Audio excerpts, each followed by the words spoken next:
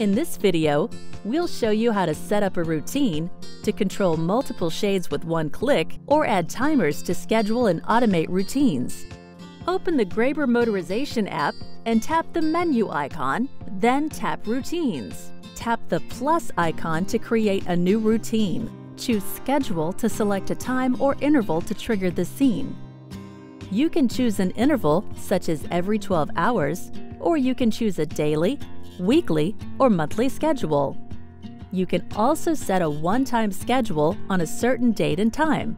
Tap Validate to confirm your choice.